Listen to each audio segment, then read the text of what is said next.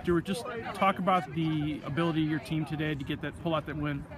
Oh yeah, we, we were outstanding today. We, we fought for everything. Uh, uh, didn't give them an ounce of space uh, anywhere, and and, and uh, we're really happy for the result. And we're really buzzing and looking forward to what's next for us.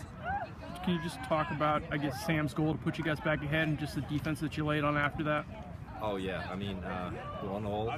It's getting a bit nervy at the end, towards the end of the game, but Sam uh, gets a good left foot on the corner, and, and and that's when I knew it's going to happen because because when we're two one up, I didn't think we were, we were even looking like we could go down again.